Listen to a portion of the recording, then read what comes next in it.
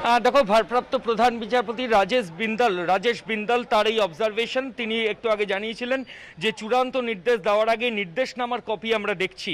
এরপরই এই চার হেভিওয়েটের তরফে অভিষেক মনু সিংভির পাশাপাশি আর এক আইনজীবী, সিদ্ধার্থ লুথরা, তিনি যেটা সাবমিশন করছেন যে শুধুমাত্র চিঠির ভিত্তিতে জামিনের ওপর স্থগিতাদেশ দেওয়ায় সুবিচার হয়নি। আমি আবার বলছি, সিদ্ধার্থ লুথলা, লুথরা সিদ্ধার্থ লুথরা হচ্ছেন হেভিওয়েটদের তরফ থেকে সাবমিশন করছেন অভিষেক মনু সিংভির পাশাপাশি।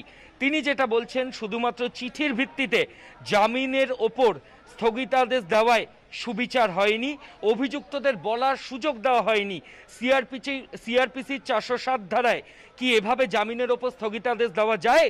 প্রশ্ন আইনজীবী সিদ্ধার্থ লুথরার। আমি আবার বলছি, শুধুমাত্র চিঠির ভিত্তিতে জামিনের ওপর স্থগিতাদেশ দেওয়ার সুবিচার দেওয়ায় সুবিচার হয়নি। শুধুমাত্র চিঠির ভিত্তিতে জামিনের ওপর স্থগিতাদেশ দেওয়ায় সুবিচার হয়নি, অভিযুক্তদের বলার সুযোগ দেওয়া হয়নি। সিআরপিসির চারশো সাত ধারায় কি এভাবে জামিনের ওপর স্থগিতাদেশ দেওয়া যায়? প্রশ্ন আইনজীবী সিদ্ধার্থ লুথরার।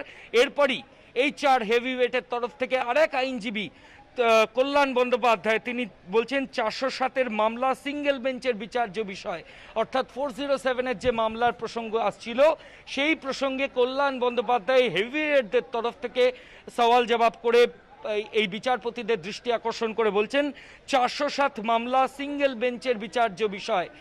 এমনটাই কিন্তু কল্যাণ বন্দ্যোপাধ্যায়ের বক্তব্য। সিদ্ধার্থ লুত্রা তিনি তার আগে তার সাবমিশন করেছেন। ভারপ্রাপ্ত প্রধান বিচারপতি রাজেশ বিন্দল।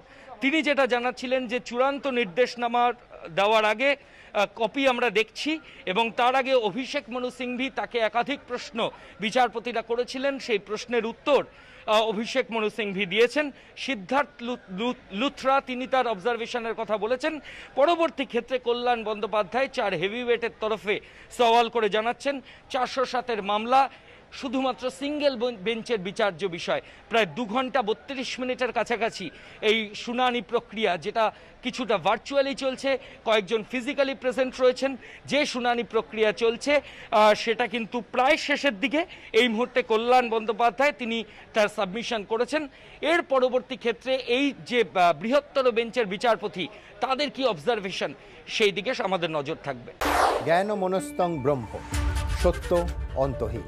সত্যের খোঁজও তাই, সত্য সন্ধানে তাই আমরা অক্লান্ত, অকুত ভয়। এবিপি আনন্দ, নতুন ভাবনার প্রতীক, যা মনে মুক্ত, তথ্যে যুক্ত এবং যাবতীয় সীমানার বাঁধন থেকে মুক্ত।